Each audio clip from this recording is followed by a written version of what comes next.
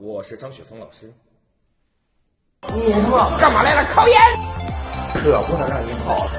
放学别走，为什么呀？只因为老师在人群中多看了你一眼。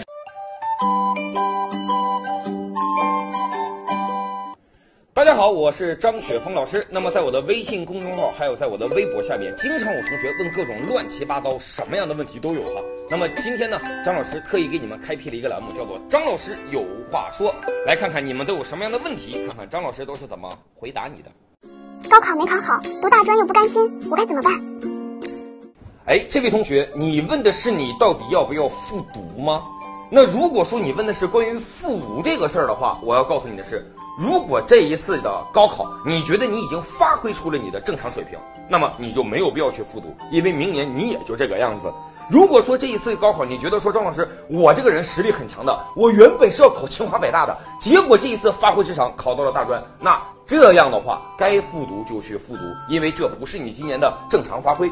那么如果说你真的水平就不高，也就是个大专的水平，大专要不要去读，或者说我读了大专以后，我将来怎么办？这一点给大家一个建议，就是大专绝对不是你学历的一个终点，因为大家你要知道，大专这个学历它比较尴尬。你说它算不算大学生？它也算，但是在很多人才的政策上，它并不算是大学生。比如说现在中国很多的准一线城市，注意我说的不是一线城市啊，不是北上广深这种一线城市，我说的是准一线城市，像。武汉呐，成都啊，西安呐，合肥呀，南昌啊，这种所谓的准一线城市，他们现在在落户口啊、买房子啊、创业的政策支持上，他们的支持对象是本科学历以上。所以说，大专的各位同学，你读了大专以后，你最起码要把自己升到本科，而且万一你将来有这么一个想法，加入到我的门下，你说张老师，我想考研。那么大专这个学历在考研当中有可能会受到一定的歧视，比如说你们在大专这个学历啊，毕业两年才能去报考研究生；再比如说你大专这个学历，如果说进入考研的复试，复试还要再加试两门科目；再比如说很多九八五工程大学在招研究生的时候，干脆就不要第一学历是大专的学生。所以说这些人你要知道。能考个本科，尽量考个本科，这绝对不是你学历的终点，这是忠告，忠告，忠告。马上就要上大学了，我该怎么发展自己呢？大学当中怎么发展自己？哎，我估计问这个问题的人应该是大一的同学吧，因为我估计大四的人你都不用问这个问题了，是不是？然后的话呢，如果说想发展自己的话，张老师给你一个建议，就是一定要去参加各种社团以及各种各样的社会实践活动。首先，我们来说社团哈。那么社团你参加过以后，那么你会发现在身边有很多很多其他专业的人，这其他专业的人会让你了解其他专业的专业背景。如果说你在大学里边，你就是老师，我要好好上课或者怎么样，那么同学，你的专业的背景或者说你所知道的专业知识，仅限于你现在自己目前的这个本科专业。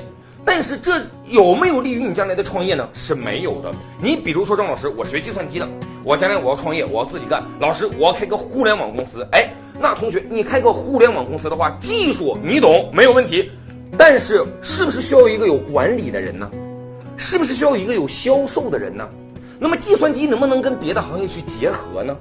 如果说你只懂这种技术的话，你会发现你自己独立去创业，说实话是很容易失败的。现在你想一个人想干好什么事情都不行，一个好汉三个帮，你是一个好汉，最起码得认识三个能帮助你的人。那怎么去拓展自己的人脉？其实你会发现社团就是一个非常不错的选择。各个大学每年在开学的第一个月都有一个著名的战役，叫做百团大战，各种各样的社团，但是。以张老师的经验哈，这是我的经验告诉你的哈，千万不要在社团面试当中太展露自己的锋芒。你比如当年我在参加社团的时候，去参加这个辩论社，因为你看张老师口才比较好嘛，对不对？我觉得我人长得又帅，对不对？口才又非常的好，像辩论社团呐、主持社团这种社团，我觉得我面试应该是绝对没有问题的。但是哥第一轮面试就被干掉了，为什么呢？因为他们面试完以后发现，他们根本就不需要一个社团的主席。搁这实力一看，哪还有你还有勾引师妹的份儿啊？那师妹都跑在我的身边了呀，对吧？所以说的话，那个社团的领导呢，就直接把我排除在外了。那么排除在外怎么办？社团是一个方法，那么另外一个方法就是多参加各种各样的社会实践活动。哎，比如说去做一些兼职，做一些兼职。那么大家多出去跟这个社会接触一下。其实我一直觉得大学它就是一个什么呀，让你长见识的地方。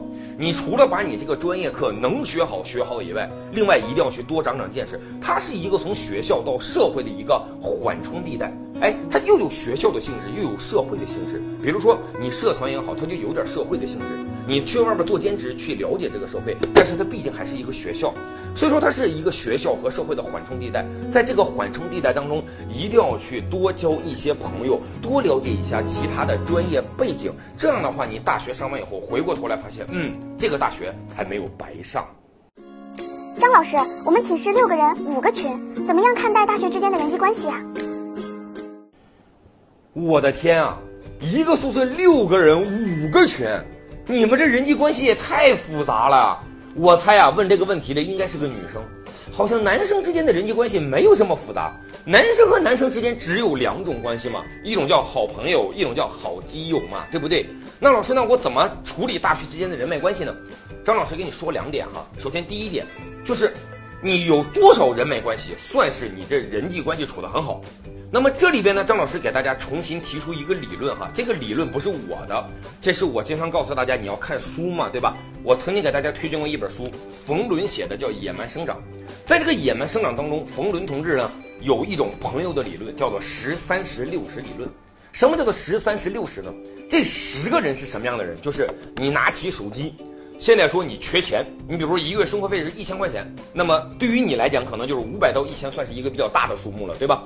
你说老师，我现在一个月生活费一千块钱，我现在缺五百块钱，你拿出你手机通讯录里边，你说我缺钱，你给这些人打电话，包括咱爸咱妈加起来也就十个人会给你打钱，你数一数，大概是不是这样的，对吧？你让你的父母回头数一数，是不是这样的？